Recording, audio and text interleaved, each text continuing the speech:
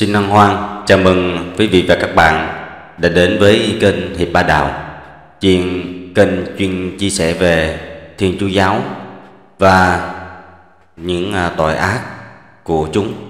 Phần tiếp theo mình à, sẽ làm cái à, phần còn lại nhưng tới đâu hay tới đó vì nó quá dài mình phải chia ra từng phần.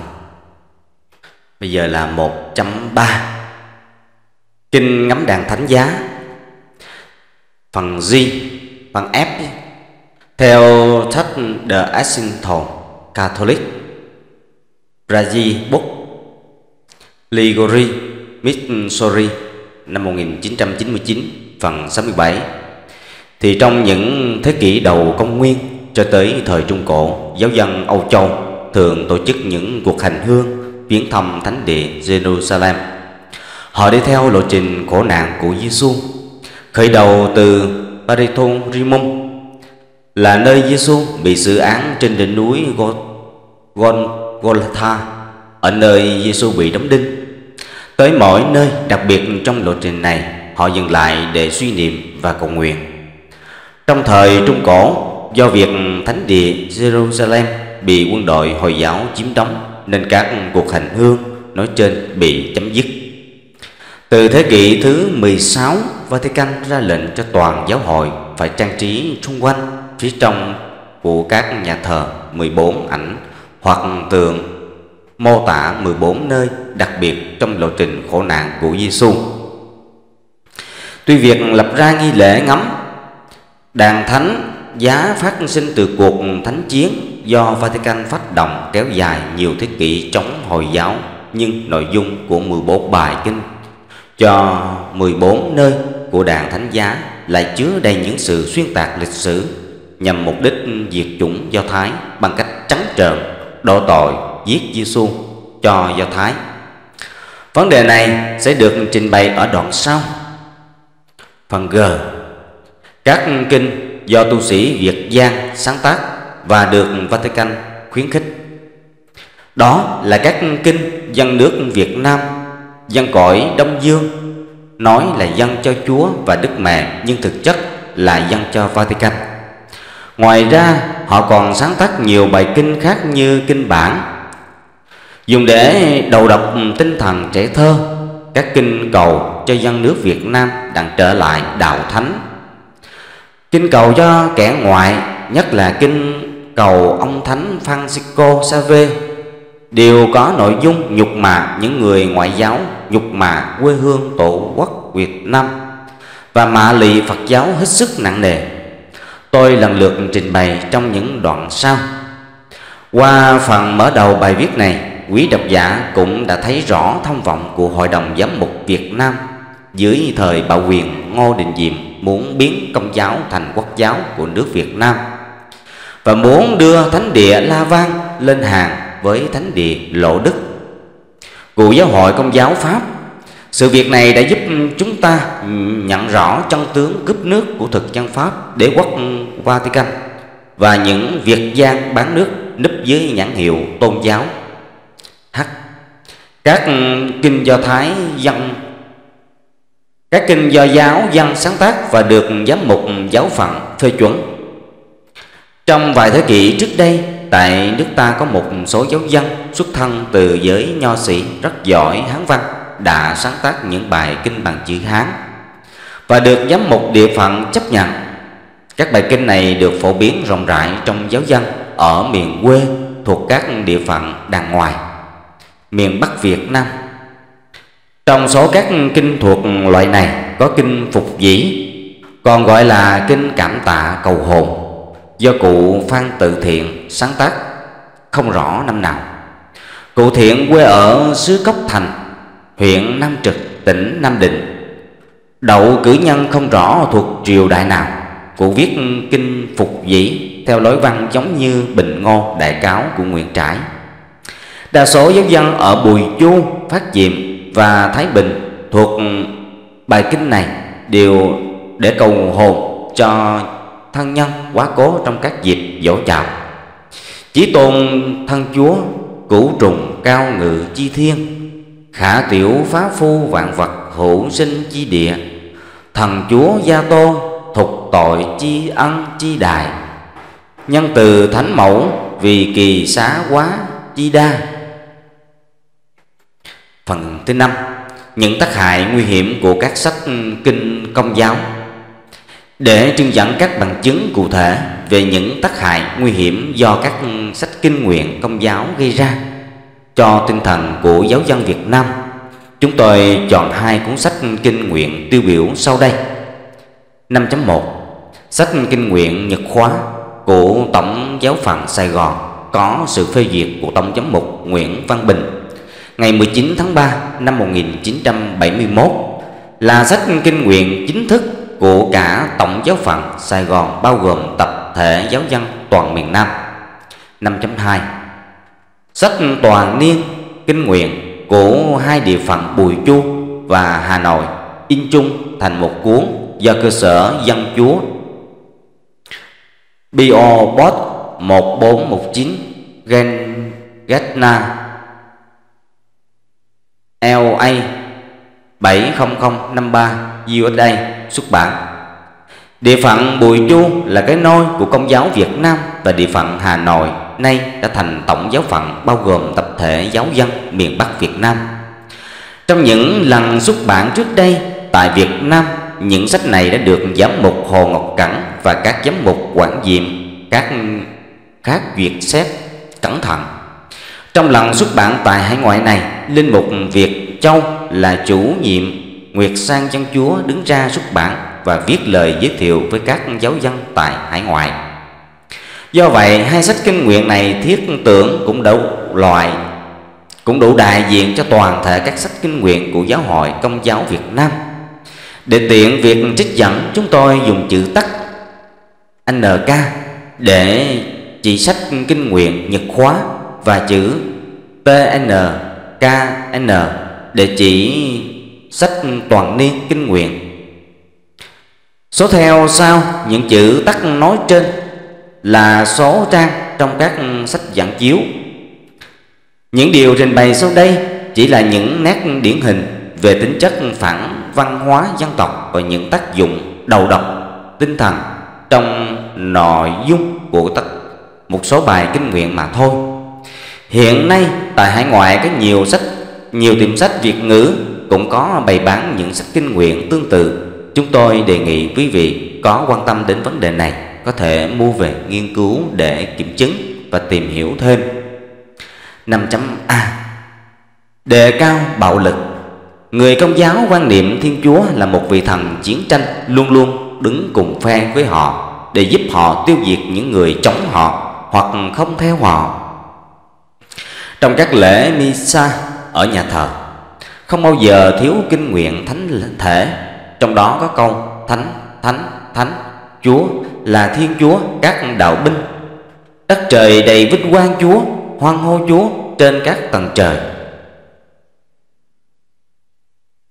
NK 581 Quan niệm này xuất phát từ đạo Do Thái của Môi-se. Qua chuyện kể trong cựu ước Exodus Về việc dân Do Thái nổi loạn chống lại Ai Cập. Để thoát vòng nô lệ và tìm đến đất hứa. Người Do Thái xưa thường ca ngợi Thiên Chúa là Giác Que Sa Bot Có nghĩa là Thiên Chúa của các đạo binh. Đây là một quan niệm ngây ngô của những bộ lạc bán khai về thần linh. Bà Karen Armstrong Nguyên là một nữ tu công giáo gốc Ái Nhĩ Lan Đã viết về quan niệm này trong các tác phẩm bestseller của bà như sau. Đây là một thiên chúa tàn bạo, thiên vị và hiếu sát. Một vị thần chiến tranh hay nói đơn giản là vị thần của bộ lạc. Tâm lý chung của con người là luôn luôn muốn mình trở nên giống như thần tượng mà mình tôn thờ.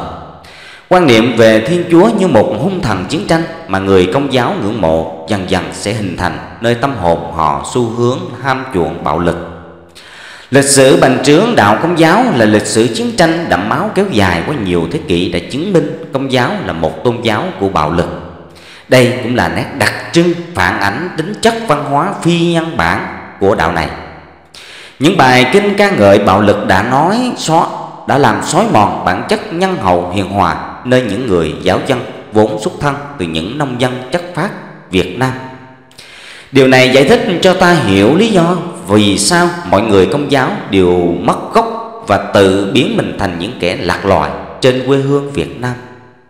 5.b Công giáo Việt Nam hồ theo chủ trương diệt chủng Do Thái, đế quốc La Mã. Ai cũng biết đế quốc La Mã, chứ không phải dân Do Thái. Bắt và đóng đinh Giêsu trên thập giá vì vào thời đó nước Do Thái bị La Mã đô hộ, nên quyền xét xử các tội nhân bản xứ hoàn toàn thống thuộc chính quyền của mẫu quốc. Đặc biệt, việc áp dụng hình phạt đóng đinh trên thập giá là đặc quyền của thế đế quốc La Mã đối với nô lệ của dân thuộc địa. Người La Mã không áp dụng hình phạt này đối với các công dân của họ.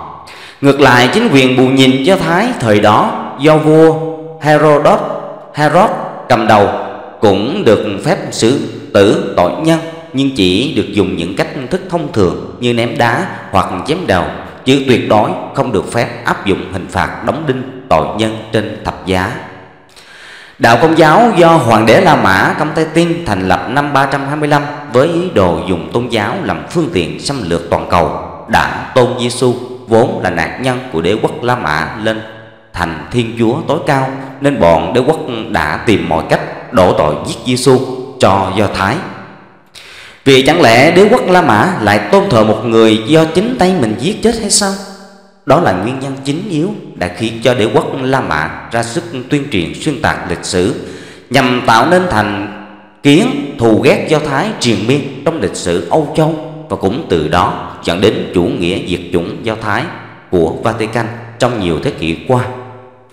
Để thực hiện chủ trương này, Vatican đã soạn ra những bài kinh nhằm mục đích đầy tội giết Giêsu của đế quốc La Mã, mà đại diện của nó là quan toàn quyền phong CEO Philato. Những âm mưu nham hiểm này được biểu lộ rõ nét nhất qua những bài kinh ngắm 14 nơi của đàn thánh giá và kinh ba ngày lễ đèn. Sự thật lịch sử là quan tòa quyền La Mã Pontius Pilatus đã tuyên án xử tử Giêsu về tội xúi dục dân chúng chống chính quyền cũng tương tự như vua Herod chém đầu sư phụ của Giêsu là Do Anbausitia. Về tội này ba năm về trước, chính Pilate trao Giêsu cho toán lính La Mã thuộc quyền. Do đại úy Longinus dẫn đầu, đem Giêsu lên núi Sò, để hành hình bằng cách lột trần truồng trước khi đóng đinh vào thập giá. Cái khổ của Giêsu trên thập giá tuy chỉ là một vật ngụy tạo nhỏ xíu, nhưng thật sự nó là một tấm màn vĩ đại che lấp mọi sự dối trá bỉ ổi của Kitô giáo nói chung và của Công giáo La Mã nói riêng. Xin đọc thêm cái khố của Giêsu trên thập giá của Trắc Liên Nguyện đăng trên Đông Dương Thời báo Houghton số 69 ngày 30 tháng 7 năm 1998. Bài này được in lại trong tác phẩm Thực chất của Giáo hội La Mã, quyển 1 của giáo sư sử học Nguyễn Mạnh Quang, trang 360 365. Tuy nhiên, sự ngụy tạo cái khố của Giêsu trên thập giá không bị ổi cho bằng sự kiện quân lính La Mã luôn luôn hiện diện trong suốt lộ trình của đàn thánh giá, nhưng trong 14 bài kinh của nghi thức cầu nguyện này không hề nói đến quân La Mã là chỉ dùng những danh từ như quân dữ, quân độc ác hoặc quân du rêu để chỉ người Do Thái. Thí dụ những câu như Quân dữ toan đóng đinh Đức Chúa Giêsu thì nó lột áo ra hết. Tôi khen lòng mạnh bạo và Veronica chẳng sợ quân dữ. Khi đọc các bài kinh này, giáo dân Việt Nam có ấn tượng quân dữ là người Do Thái chứ không phải là quân La Mã. Ngoài ra còn có nhiều câu kinh miệt thị Do Thái và cố ý quy trách nhiệm giết Giêsu cho họ như đừng bắt chước quân Du Du Diêu khi Phi La Tô nghe lời quân Du Diêu gắn bò vó vang nài xin tha Barabba thì liền phú đức Chúa Giêsu cho quân lính đánh đòn cho đẹp lòng dân yêu diêu Ghê gớm nhất là lời nguyền rủa truyền kiếp độc địa được gán cho là lời của Giêsu nguyền rủa dân tộc mình trong kinh ba ngày lễ đèn. Đức Chúa Giêsu liền trở mặt lại và phán rằng, ở con thành Jerusalem, bay chớ khóc thương tao làm chi bay hãy khóc thương bay cùng các con cháu bay, ngày sau phải khốn mà chớ những câu kinh à, khác trắng trợn xuyên tạc lịch sử để gỡ tội cho La Mã. Khi Phi La Tô thấy quân độc ác làm khốn cho Đức Chúa Giêsu thới quá, thì động lòng thương, vậy quan ấy tra hỏi căn do mới biết người chẳng có tội gì, cho nên quan ấy có ý muốn tha mà quân du diêu ngăn cản chẳng chịu 5 C Công giáo Việt Nam coi rẻ công ơn cha mẹ tổ tiên và các anh hùng dân tộc. Ngược lại họ hết sức tôn sùng những kẻ hòa loạn luôn, mất dạy. Điều này cho ta thấy công giáo là đạo mất dạy số một. Trong kinh ăn năn tội có câu Lạy Chúa là cha rất nhân từ hơn cha mẹ thế gian bội phần. Câu kinh này phản ảnh đúng theo lời dạy của Giêsu. Bản thân Giêsu là một đứa con hoang, nên Giêsu thù ghét cha nuôi và mẹ ruột của y. Vì thế, y đã dạy người khác bất hiếu với cha mẹ của họ. Phúc âm của Matthew 10 2.34 đến trang 37 có chép lời Giêsu như sau. Chớ tưởng rằng ta đem hòa bình đến cho thế gian. Ta đến không phải đem lại hòa bình mà là gươm giáo. Ta đến để phân rẽ con trai với cha, con gái với mẹ con dâu với mẹ chồng và mọi người trong gia đình là thù nghịch của nhau. Ai yêu cha mẹ hơn yêu ta thì không xứng đáng với ta.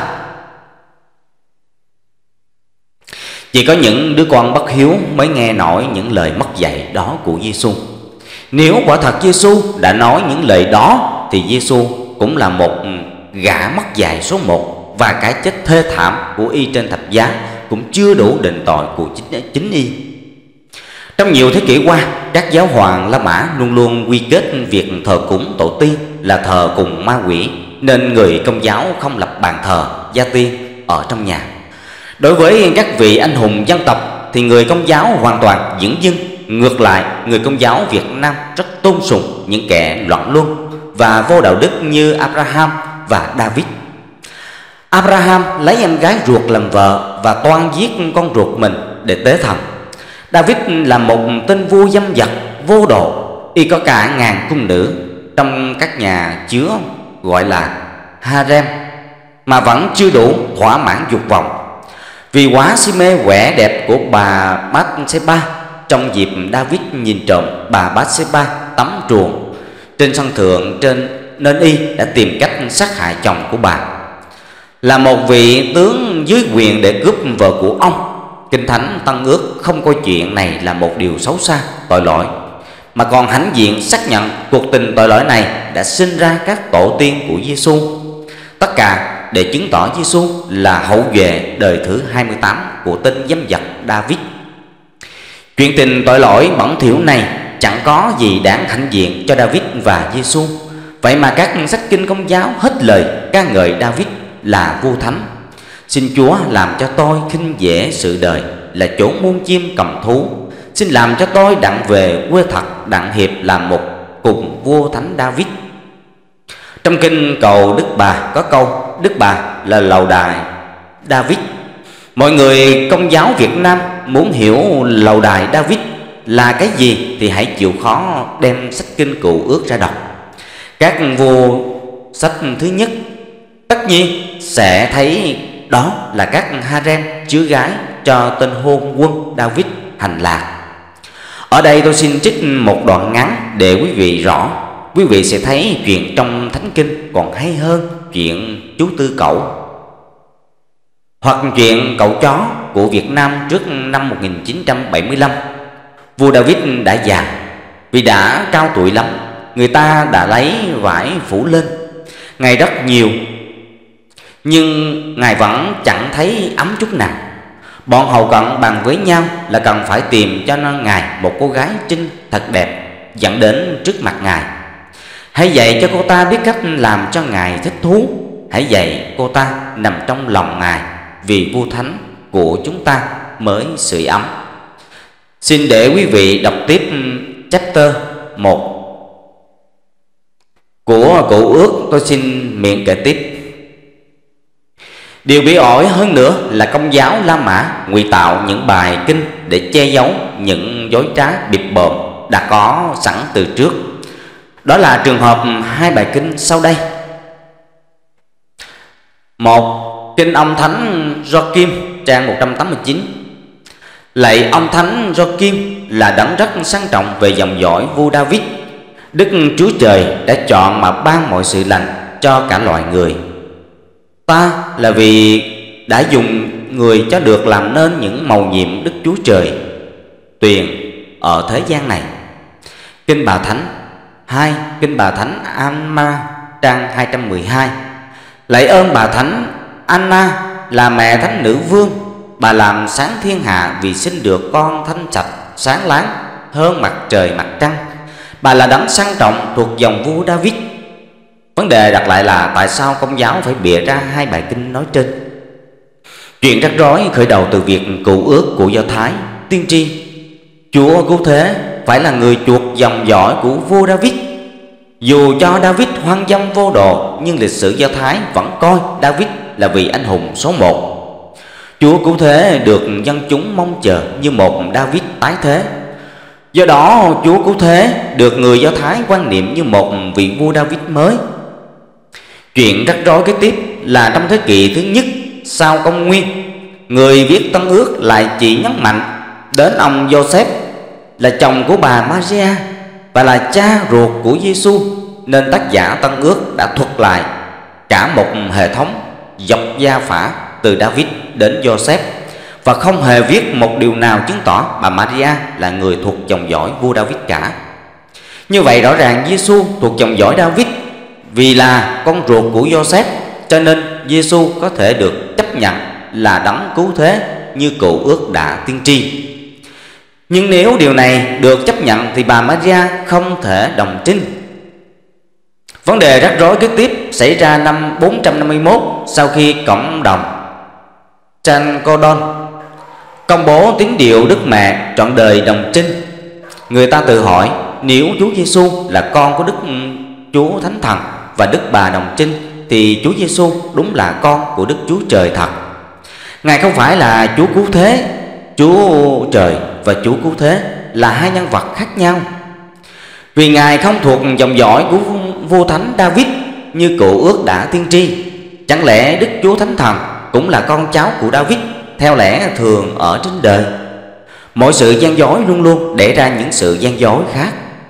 Nhưng mọi sự gian dối thường lâm phải tình trạng giấu đầu, hở đuôi. Tuy vậy, vốn sẵn bản chất đại lưu manh chuyên nghiệp tòa thánh La Mã đã trơ trẽn sáng chế hai bài kinh nói trên, mặc dầu không có căn bản thánh kinh. Nhưng cốt để tín đồ tin rằng cả cha lẫn mẹ của bà Mãi Ra là do kim và Anna đều thuộc dòng dõi của vua David, cho nên Giêsu dù là con của Chúa Thánh Thần và bà Maria đồng trinh cũng vẫn thuộc dòng dõi David như thường.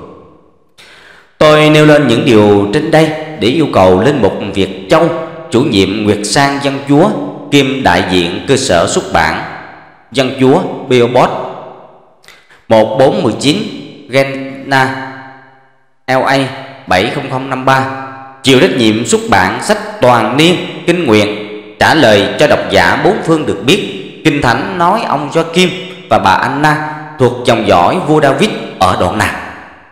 Nếu linh mục Việt Châu không trả lời nổi, thì mọi cuốn sách toàn niên kinh nguyện Bùi Chu Hà Nội cần phải được thu hồi để vứt bỏ. Cho nên người ta gọi công giáo là đạo biệp hay đạo dối, thật không sai chút nào. Nếu phải kể cho hết những chuyện biệp của công giáo, chắc phải viết tràng thiên tiểu thuyết thì may ra mới tạm đủ. Riêng về việc à, về chuyện thánh phêrô là giáo hoàng đầu tiên cũng có hàng chục chuyện biệt. Chẳng hạn cái được gọi là chiếc ghế phêrô. Cốt để mọi người tin rằng công giáo là đạo chính quyền chính truyền của Chúa Giêsu qua Thánh Phêrô. Vào tháng 7 năm 1968, một phái đoàn khoa học quốc tế đã đến tặng tòa thánh giảng nghiệm bằng phương pháp carbon, đã xác định chiếc ghế này được ngụy tạo trong thế kỷ thứ 9 còn tượng thánh Phêrô bằng đồng đen rất lớn đứng đầu bàn thờ.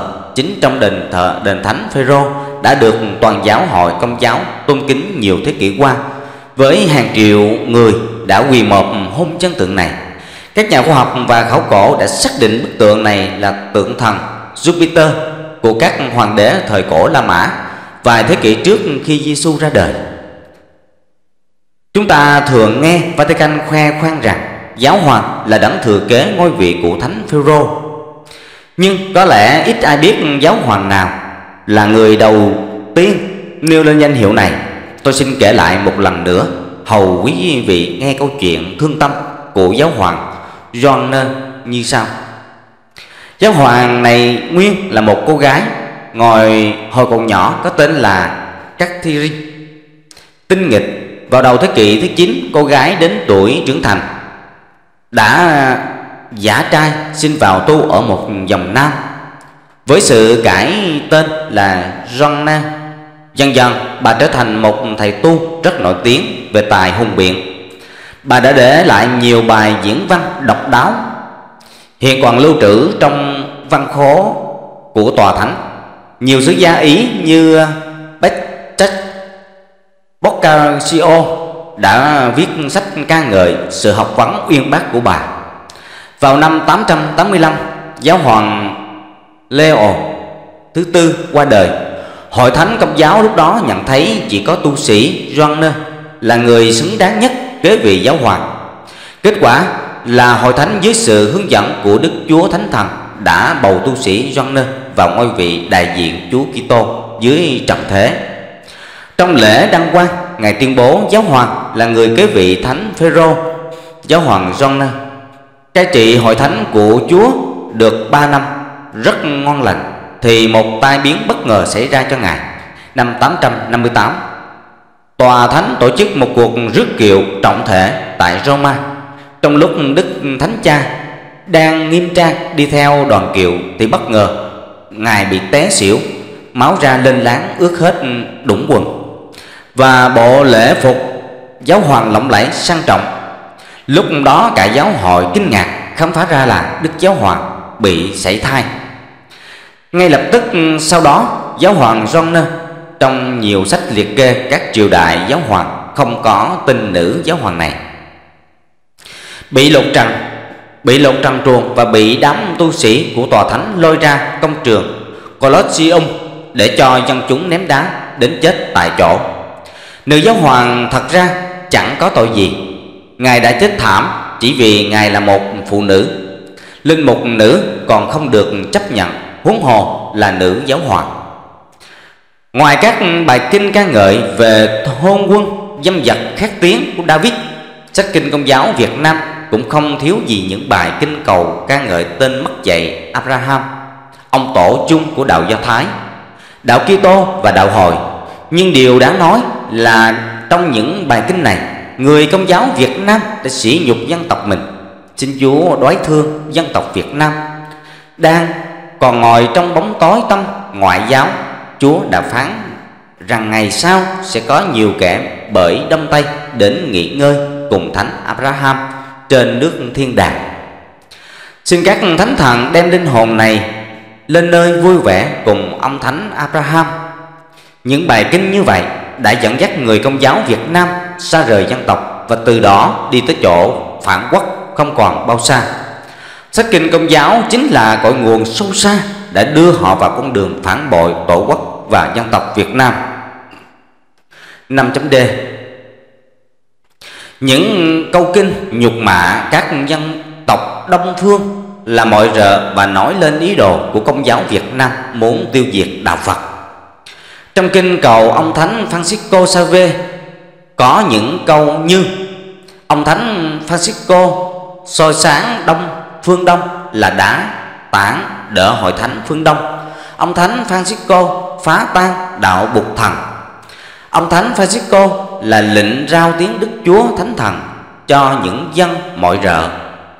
Với những câu kinh nói trên, rõ ràng giáo hội công giáo Việt Nam đã công khai bày tỏ ý muốn phát tan đạo Phật và công khai nhục mạ dân tộc Đông phương, trong đó có Việt Nam, Nhật Bản, Trung Quốc, Đại Hàn, Tân Gia Ba, Thái Lan là những dân tộc mọi rợ quê hương của Francisco là Tây Ban Nha so với những con rồng châu Á thôi chứ chưa cần phải so sánh với Nhật Bản cũng đủ thấy cách xa nhau một trời một vực.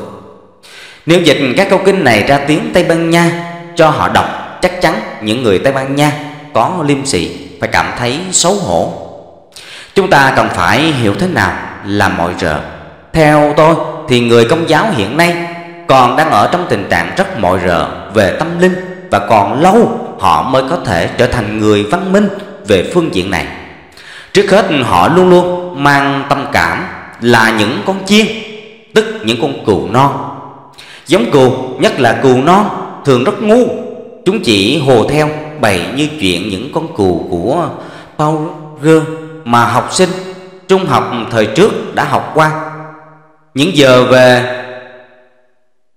đều biết muốn trở thành người Việt Nam bình thường, người công giáo phải trải qua nhiều bước trong quá trình tiến hóa tâm linh mới đạt được. Bước đầu tiên, họ phải gạt bỏ cái mặc cảm là bầy chiên ngu ngốc của Vatican để nhận ra nhân cách con người của mình. Nghĩa là họ phải trải qua quá trình tiến từ súc vật để trở thành người đứng thẳng.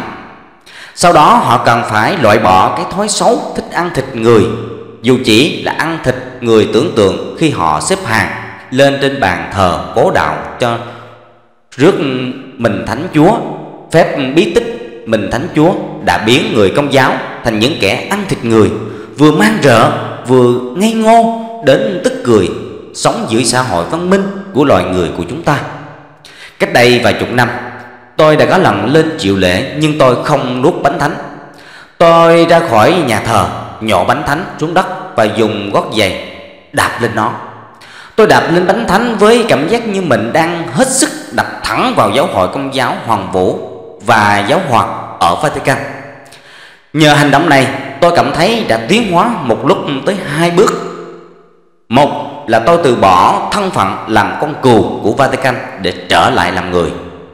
Đồng thời, tôi cũng đã tiến một bước nhảy vọt về tâm linh từ một tên mọi rợ giả man ăn thịt người để trở lại thành người bình thường trong xã hội. Sau khi trở lại làm người bình thường Tôi phải học hỏi về cội nguồn dân tộc và nhận thức được giá trị rất cao của nền văn hóa nhân bản của tổ tiên chúng ta Phải trải qua một quá trình tự giáo dục và chiến đấu với bản chất hết sức quyết liệt Tôi mới có thể cảm hóa tâm linh của mình từ một tín đồ công giáo để tiến lên là một người Việt Nam bình thường như mọi người Việt Nam bình thường khác. Cho tới bây giờ, tôi mới dám tự hào được là một người Việt Nam bình thường Khi bình tâm nghĩ lại, Tôi cảm thấy đồng bào, Công giáo của mình thật đáng thương, Vì họ còn ở trong tình trạng bán khai tâm linh Mà chính họ không biết nên Đã quay ngược chê dân tộc. Mình nên là mọi rợ, Thật là một sự đau xót vô cùng. Trở lại với bài kinh cầu ông Thánh Francisco Save Sau khi đi tìm qua nhiều sách bằng Anh ngữ, tôi nhận thấy Francisco tuy được gọi là một cộng sự viên của Loyola, lập ra dòng tên dòng tên Yusuf, là một trong những dòng giáo sĩ hung hãn của Vatican, nhất là trong phong trào đi chiếm thuộc địa. Nhưng chỉ một mình Aigantios Loyola được Vatican lập lễ kính hàng năm vào ngày 31 tháng 7 Francisco không có cái vinh dự này. Trong các sách kinh công giáo bằng Anh ngữ đều có kinh cầu thánh Ignatius Loyola nhưng không có kinh cầu thánh Francisco. Do vậy, tôi nghĩ rằng bài kinh cầu ông thánh Francisco nói trên là sản phẩm riêng của giáo hội công giáo Việt Nam. Bài kinh này rất dài so với các bài kinh khác vì nó chiếm tới 10 trang trong sách Nhật khóa 782 đến 791 Đọc bài kinh này chúng ta sẽ thấy tác giả của nó là một kẻ có đầu óc u tối, hẹp hòi và hoàn toàn mù tịt về tiểu sử của Francisco Save. Tiểu sử của ờ, Francisco Save chứng minh rằng tu sĩ này đã thành công phần nào ở Ấn Độ là nhờ biết sống hòa mình với đám tiện dân vốn bị khinh rẻ trong xã hội theo ấn giáo. Ông được dân địa phương có cảm tình đặc biệt vì ông đã liên tục lên án gây gắt sự vô đạo đức và thói tham lam tàn bạo của bọn thực dân Âu Châu trên đất Ấn. Francisco sinh năm 1506 trong một gia đình quý tộc tại Tây Ban Nha. Khi lớn lên, y được cha mẹ cho đi du học đại học Sorbonne, Paris. Tại đây vào năm 1530, y gặp tu sĩ Ignatius Loyola và cùng với tu sĩ này lập ra dòng tên có nghĩa là một tu sĩ mang tên Giêsu, The Jesus Order vào năm 1534. Từ năm 1540 đến năm 1548, Francisco hợp tác với các tu sĩ Bồ Đầu Nha giảng đạo ở Ấn Độ đã dụ dỗ được trên 100.000 dân nghèo Ấn Độ theo đạo. Do công trạng này, Francisco được Vatican tuyên dương là tông đồ của Ấn Độ. Sau khi giảng đạo tương đối có kết quả tại Ấn Độ, Francisco tham vọng chinh phục Nhật Bản. Ngày 15 tháng 8 năm 1549, Francisco Xavier đặt chân lên đất Nhật và cố gắng truyền đạo tại đây trong 27 tháng, nhưng hoàn toàn thất bại vì tinh thần dân tộc của người Nhật quá cao Francisco Xavier quá chán nản nên đã viết thư gửi cho Ingatus Loyola như sau Tôi nghĩ rằng chúng ta sẽ không bao giờ tìm được một dân tộc nào có thể sáng ngang với người Nhật.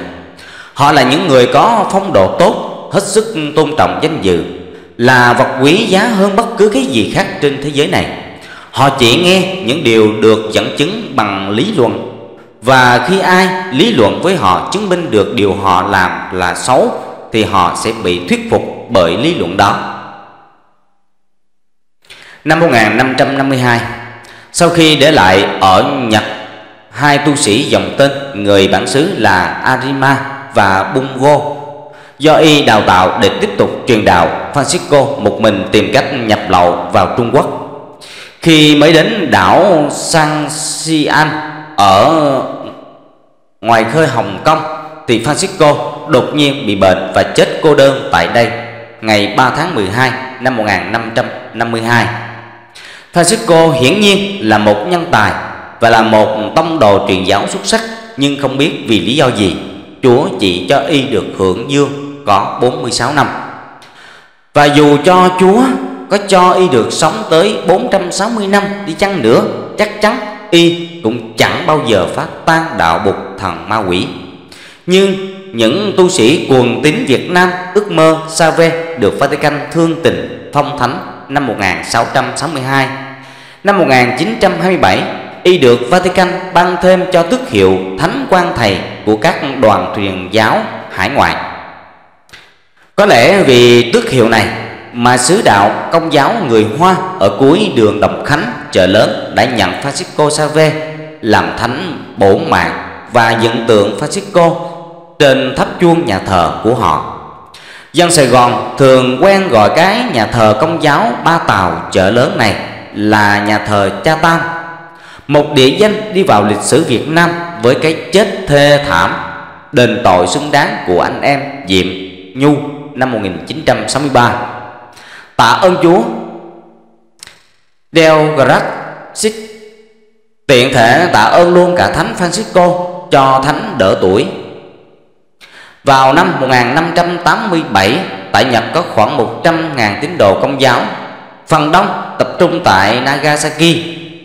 Trong thời gian này, Nhiều tàu chiến của Bồ Đào Nha đến xâm chiếm Nhật. Chính quyền Nhật nắm được đầy đủ bằng cớ chứng tỏ các tu sĩ và giáo dân công giáo làm nội ứng cho địch. Do đó, chính quyền Nhật ra lệnh xử tử bằng cách đóng đinh các tu sĩ ngoại quốc và chém giết rất nhiều giáo dân. Tuy nhiên, các tu sĩ dòng tên vẫn tiếp tục nhập lậu vào Nhật truyền đạo năm 1614. Chính quyền Nhật mở cuộc hành quân đợt 2 do tướng Ko Tokugawa Yagatsu chỉ huy năm 1638. Giáo dân còn sót lại ở Nagasaki, nổi loạn chống chính quyền. Lần này, chính quyền Nhật nhất quyết thẳng tay trừng trị nên đã ra lệnh cho tướng Imitsu đang đại mang đại quân đến dẹp loạn đồng thời để lui quân Bồ Đào Nha xâm lược. Quân Nhật giết luôn một lúc 37.000 giáo dân tại Nagasaki, đóng đinh các tu sĩ và đánh đuổi bọn xâm lược Bồ Đào Nha ra khỏi lãnh thổ. Một số tàn quân Bồ Đào Nha và giáo dân Nhật sống sót tìm cách vượt biên bằng thuyền đến tị nạn tại Hội An, Việt Nam. Từ đó trong hơn hai thế kỷ, nước Nhật sạch bóng quân ngoại xâm và bọn giáo dân phản quốc. Chiến thắng vẻ quang do quyết tâm tiêu diệt tà đạo công giáo của người Nhật đã bảo toàn nền độc lập và văn hóa của nước Nhật. Tinh thần dân tộc Nhật đã được hung đúc bởi thần đạo Shinto, tinh thần võ sĩ đạo Samurai và tinh thần Phật giáo đã cứu nước Nhật thoát ách ngoại xâm và đưa nước Nhật lên địa vị siêu cường ngày nay. Tiểu sử của Francisco cũng như lịch sử nước Nhật đã chứng minh không hề có chuyện Francisco phá tan đạo bục thần như tác giả thiếu trí tuệ của bài kinh đã tưởng tượng. Và Francisco cũng chẳng bao giờ dám coi một dân tộc đông phương nào là mọi rờ cả. Ngược lại, Francisco rất coi trọng phong tục tập quán của các nước ông ta đến giảng đạo, và đó chính là yếu tố thành công của ông bài kinh nói trên là một bằng cớ cụ thể chứng tỏ tính vong bản nặng nề của các tu sĩ công giáo Việt Nam Chúng đã mù quáng xuyên tạc tiểu sử của Francisco và tán tận lương tâm đến mức dám cố tình nhục mạ tổ quốc và các dân tộc Đông phương. Là những dân tộc mọi rợ, các tu sĩ này thật sự là một đám cỏ dài trên cánh đồng văn hóa Việt Nam. Muốn bảo vệ cánh đồng văn hóa Việt Nam, chúng ta không thể không tính đến chuyện trừng trị đám cỏ dại nguy hiểm này.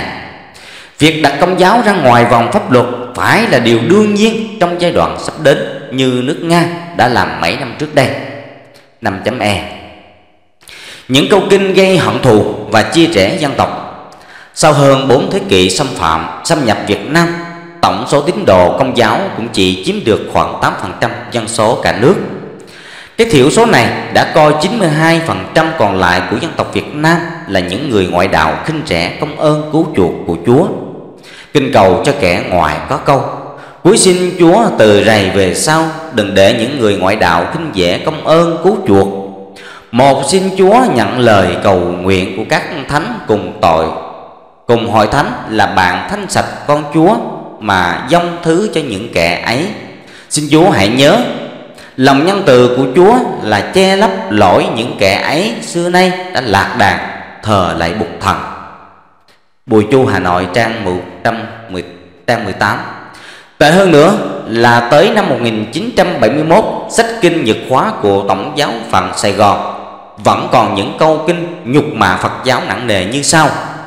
Ai chẳng nghe lời hội thánh trong mọi việc ấy là chẳng nghe lời Chúa tôi. Tôi ước ao cho muôn vàng kẻ ngoại xứ này đặng bỏ bục thần ma quỷ mà trở lại cùng Chúa tôi. Trong thực tế, chẳng có ai thờ quỷ cả, vì quỷ là những kẻ có tội bị Chúa giam cầm trong lửa hỏa ngục đời đời. Như tín đồ công giáo đã được dạy như thế, làm gì còn có quyền tung hành hoàng, tung hoành tùy ý được?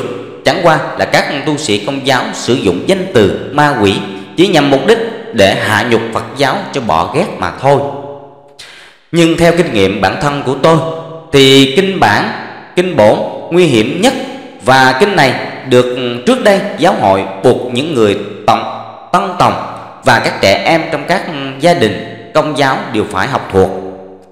Riêng kẻ viết bài này đã bị cha mẹ bắt buộc học thuộc lòng từ năm lên 7 tuổi để được chịu phép xưng tội và rước lễ lần đầu kinh bổn được viết theo lối vấn đáp và trước đây ở quê nhà. Kinh này thường được đọc tại nhà thờ vào ngày chủ nhật. Tôi nhớ như in câu kinh sau đây Và nó sẽ làm tôi có ác cảm với mọi người ngoại đạo Trong suốt thời niên thiếu của tôi. Hỏi, kẻ lành là ai? Thưa, kẻ lành là kẻ giữ đạo nên? Kẻ giữ là kẻ chẳng có đạo Và kẻ giữ đạo chẳng nên. Câu kinh này đã gây ấn tượng sâu xa Trong đầu óc non nớt của tôi. Cho rằng mọi người không theo đạo công giáo Đều là những kẻ ác cả. Do đó, trong lòng tôi luôn luôn mang nặng một mặc cảm nghi ngờ và thù ghét mọi người ngoại đạo. Sau này, khi đến tuổi lớn khôn, tôi tự hỏi là tôi làm sao có thể sống sót được nếu tôi phải sống giữa một đất nước có 90 tới, có tới 92 dân 92% dân số là những kẻ ác. Và nếu 8% dân số Việt Nam theo đạo Công giáo vẫn sống và phát triển như ngày nay, thì hiển nhiên những người Việt Nam ngoại đạo không phải là những kẻ ác như kinh bổn đã dạy. Quả thật, kinh bổn đã là công cụ đầu độc tinh thần trẻ thơ công giáo Việt Nam trong nhiều thế hệ qua. Và nay cũng vẫn còn tiếp tục. Ngoài ra, người công giáo Việt Nam còn bị nhiễm cái định kiến của ngoại của giáo sĩ ngoại quốc cho rằng có đạo là văn minh và ngoại đạo đồng nghĩa với kém văn minh hay mọi rợ với các định kiến sai lầm về dân tộc cũng như đối với đồng bào ngoại giáo do các sách kinh quyển đầu đọc tập thể công giáo Việt Nam vĩnh viễn xa rời dân tộc và vĩnh viễn bị coi như cùi hủi đáng ghê tởm trên quê hương mình.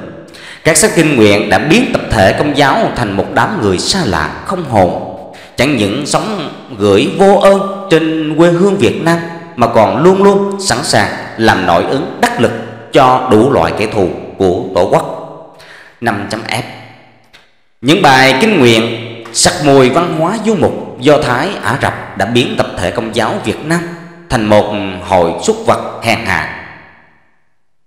Như một trình bày, như đã trình bày ở trên, nếu cứ nhìn theo bề ngoài thì ta thấy mọi người công giáo đều là những người bình thường nhưng sự thật bên trong họ là những tim óc bán khai. Họ không phải là bán khai sao được khi họ còn ham đến nhà thờ để được ăn thịt uống máu Chúa. Nam nữ tín đồ ăn thịt uống máu cho uống máu Chúa cho đã để rồi sau đó nam nữ tín đồ bài tiết Chúa ra ngoài qua lối cửa trên hoặc cửa dưới um tùm. Thấy phát khiếp, Do hậu quả của sự tự kỷ ám thị, Những bài kinh sặc mùi văn hóa du mục Đã biến các tín đồ công giáo thành một đàn cừu non Và hàng tu sĩ đương nhiên trở thành những chủ chăn của họ Đầu óc ô nhiễm giáo lý công giáo của họ, U tối như đêm 30 không đèn, Không đóm nên họ không thấy điều đó là nhục.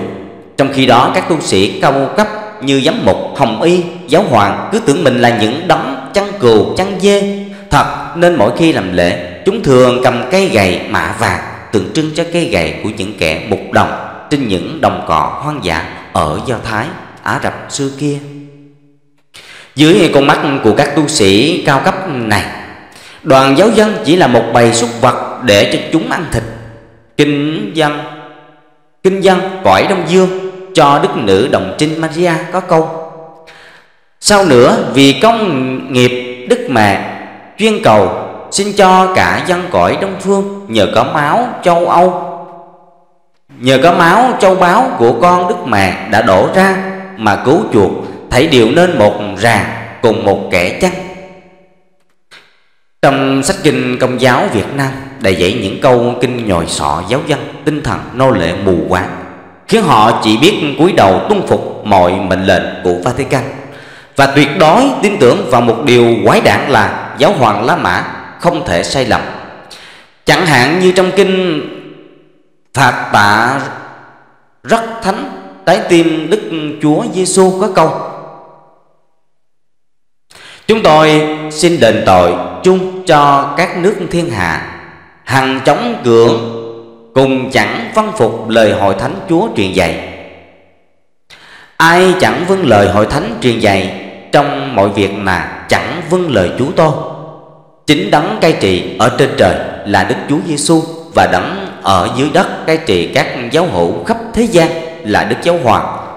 Ở thay mặt Đức Chúa Giêsu Đức Chúa Trời hằng giữ gìn, hằng giữ Đức Giáo Hoàng. Cho nên chẳng có lẽ nào sai lầm được. Tập thể giáo dân trở thành một bầy con chiên. Tức bầy con cừu non Dài hoàn toàn tùy thuộc vào sự lãnh đạo của hệ thống tu sĩ đứng đầu bởi giáo hoàng. Giáo hoàng và Bộ Tham mưu đầu não trung ương của thế giới công giáo đặt tại Việt Vatican. Bộ Tham mưu địa phương của chúng nằm vùng tại các quốc gia có tín đồ công giáo các hội đồng giám mục. Tại nước ta, Hội đồng giám mục Việt Nam trụ sở đặt tại số 40 phố Nhà Chung, Hà Nội là bộ tham mưu của bọn Việt Giang nằm vùng thường trực trong lòng dân tộc Việt Nam. Mọi mệnh lệnh của Vatican ban ra đều được ban tham mưu này răm rắp thi hành, miễn sao phục vụ tối đa quyền lợi của Vatican, chẳng bao giờ quan tâm đến quyền lợi và danh dự của dân tộc. Các sách kinh nguyện là những công cụ chiến tranh tâm lý hữu hiệu của Vatican nhằm đầu độc tinh thần giáo dân và biến họ thành một lực lượng chính trị của Vatican, mai phục sẵn sàng trong lòng dân tộc Việt Nam. Điều nguy hiểm là lực lượng chính trị này đồng nhất, đa số những tim óc bán khai và hung hãn cuồng tín. Cho nên kẻ lưu manh quốc tế ở Vatican rất dễ dàng sử dụng họ để tha hồ thao túng lũng đoạn nội bộ nước ta. Các sách kinh nguyện thực sự đã trở thành những trái tế mìn cài sẵn trong mọi góc ngách của các nhà Việt Nam. Các 5.g Các lời cầu nguyện của giáo hội Gen Paulo đệ nhị trong lễ phong thánh cho 117 tự đạo Việt Nam năm 1988 tại Vatican có nội dung vinh danh hay mạ lị người công giáo Việt Nam. Các sách kinh công giáo đều có những kinh cầu các thánh tự đạo Việt Nam nhưng các kinh này thường chỉ là những lời ca tụng xuống mà thôi Phải đợi đến khi giáo hoàng Jean Paulo đệ nhị tuyên đọc những lời cầu nguyện để tôn vinh 117 tử đạo Việt Nam ngày 19 tháng 6 năm 1988. Trong tòa thánh Vatican có một giáo sĩ người Việt, Họ đã vận động cố tình chọn ngày 19 tháng 6 với mưu đồ chính trị, Đó là ngày của quân lực Việt Nam Cộng Hòa Tại Vatican chúng ta mới có thể hiểu được những người tử đạo Việt Nam đã chết cho ai và với mục đích gì. Trong bài kinh Phong Thánh có những câu sau đây. Các ngài là niềm vinh quang của Jerusalem, là nỗi vui mừng của Israel và là vinh dự của dân tộc Việt Nam. Tôi dám quả quyết rằng ngoài một thiểu số tín đồ công giáo cuồng tín ra, tuyệt đại đa số người Việt Nam ở trong nước cũng như tại hải ngoại chẳng có ai chẳng ai có cảm thấy một vinh dự nào việc Vatican phong thánh cho 117 tử đạo Việt Nam. Trái lại, sự phong thánh đó chỉ làm cho người Việt Nam gai mắt bị vì bị coi là một hành vi khiêu khích đối với cả dân tộc. Bởi lẽ người Việt Nam không quên rằng sự du nhập đạo công giáo là đã nguyên nhân chính yếu đưa dân tộc Việt Nam vào vòng nô lệ thực dân Pháp trong hơn 80 năm đau thương ô nhục những chính những người tự đạo đã là nguyên nhân gây ra thù hận và chia rẽ dân tộc mà hậu quả là việc thành lập các lực lượng cuồng tín thiếu sát tự vệ công giáo ở phát diệm Bùi Chu, Thái Bình và lực lượng tự vệ công giáo ở miền Nam, Việt Nam, gọi tắt là UMDC. Trong cuộc chiến tranh Việt Pháp năm 1946 năm 1954 trong các cuộc chiến tranh tái chiếm thuộc địa của thực dân Pháp năm 1946 năm 1954, các giám mục Việt Giang, Lê Hữu Từ và Phạm Ngọc Chi đã ra sức phục vụ cho thực dân tại miền Bắc dưới chiêu bài chống cộng sản vô thần. Sau năm 1954, Lê Hữu Lễ và đàn em của Hoàng Quỳnh tiếp tục phục vụ quyền lợi của thực dân Pháp tại Việt Nam bằng cách hợp tác với đại tá Leroy, tổng chỉ huy UMDC và đảng cướp Bình Xuyên từ năm 1954 đến năm 1963. Người công giáo huynh hoang tự phong cho mình là những người chống cộng hàng đầu. Họ đã điên cuồng chống cộng không phải vì yêu nước hay vì những chính nghĩa quốc gia mà chỉ để phục vụ cho chủ trương chống cộng, chống cộng cực đoan của giáo hoàng Pio thứ 12 năm 1939 năm 1958 BO thứ 12 là tên trùng của siêu quyền lực, Mafia. Trước khi lên ngôi giáo hoàng BO thứ 12 đã sống nhiều năm ở Đức, Mặc dù là người Ý, nhưng rất thông thạo về mọi vấn đề của Đức Quốc Và nói tiếng Đức như tiếng mẹ đẻ. Trong Thế chiến thứ hai BO thứ 12 đã góp công, Đã góp công đặc lực, đắc lực cho Hitler tiêu diệt Do Thái. Hiện nay tại Bảo tàng viện Ron New York có một gian hàng triển lãm tội ác của Bio thứ 12 với một tấm bản ghi tên đồ tể quốc xã tại Roma. Pio thứ 12 là một giáo hoàng rất cuồng tín, đã ra lệnh cho giáo phận Bùi Chu lập dòng đồng công trong thập niên năm 1940 do linh mục Trần Đình Thủ đứng đầu. Pio thứ 12 tích cực hỗ trợ thực dân Pháp tái chiếm Việt Nam năm 1954. Y đã đi kêu gọi Mỹ ném bom nguyên tử xuống Bắc Việt để cứu Pháp nhưng người Mỹ đã bác bỏ đề nghị này của Y. Sau khi Pio thứ 12 chết vào năm 1958, các giáo hoàng kế nhiệm là John thứ 23 58 63 và Phaolô thứ 6 63 đến năm 78 đã quay ngược 180 độ bắt tay với Liên Xô. Đầu thập niên 1960, John thứ 23 móc nối với Hồ Chí Minh để thiết lập chính phủ trung lập tại Nam Việt Nam và hợp tác với Kennedy sát hại anh em Ngô Đình Diệm năm 1963. Tổng giám mục Ngô Đình Thục suốt đời làm thân khuyển mã cung cúc phục vụ quyền lợi của đế quốc thế tục Pháp và đế quốc tinh thần Vatican nhưng đã bị bỏ rơi tàn nhẫn. Vatican, sau công đồng tháng 10 năm 1962 đã không ngần ngại ban cho tên Tổng giám mục Việt Nam, Việt Giang này án phạt tuyệt thông. Đó là một hình phạt nặng nề và nhục nhã nhất đối với một tín đồ công giáo. Ngày 30 tháng 1 năm 1967 Giáo hoàng Phaolô thứ 6 tiếp Thủ tướng Liên Xô tại Vatican. Cũng trong thời gian này Năm 65 đến năm 67 Linh mục Hoàng Quỳnh là hàng chục. Và hàng chục ngàn giáo dân Liên tục biểu tình phá rối trị an tại Nam Việt Nam, Nhất cử nhất động, đều râm rắp theo lệnh của Vatican. Ngày 12 tháng 11 năm 1974 Linh Mục Hoàng Quỳnh cùng với gián điệp Cộng sản Vũ Ngọc Nha Đến Củ Chi hợp mặt với tầm mặt trận à, Để thành lập thành phần thứ ba trong chính phủ liên hiệp Theo như Hiệp định Paris dự liệu. Sau năm 1975 Giáo hoàng Phao Lồ thứ sáu đã ban thưởng huy chương cho gián điệp Vũ Ngọc Nhạ. Và không thèm đếm xỉa gì đến các chiến sĩ à, chống cộng đang nằm trong các trại tù cải tạo giới trí thức công giáo hoàn toàn nín khe, không dám nói nửa lời, chống lại các hành vi phản bội trắng trợn này của Vatican đối với Việt Nam Cộng Hòa. Vậy mà tại hải ngoại, bất cứ ai lên tiếng đã kích công giáo về bất cứ vấn đề gì, luôn luôn bị nhóm trí thức công giáo này dán ngay cho cái mũ cộng sản vô thần nhưng sự thật lịch sử xưa và nay đều chứng minh rằng tập thể công giáo Việt Nam chỉ là một bầy cừu hèn hạ luôn nép mình dưới cái gậy chỉ huy độc đoán và cực kỳ nham hiểm của Vatican. Vì cuồng tín, họ đã tự biến mình thành một tập thể Việt gia luôn luôn có hành động đi ngược lại quyền lợi của dân tộc. Trách nhiệm hàng đầu thuộc về cái gọi là hội đồng giám mục xét cho cùng mọi hành vi xuẩn động phản quốc của tập thể công giáo là do hậu quả của những bài kinh cầu xin Chúa ban làm xin Chúa ban cho làm súc vật. Xin Chúa hãy lùa tôi vào một đoàn cùng với những con chiên Chúa.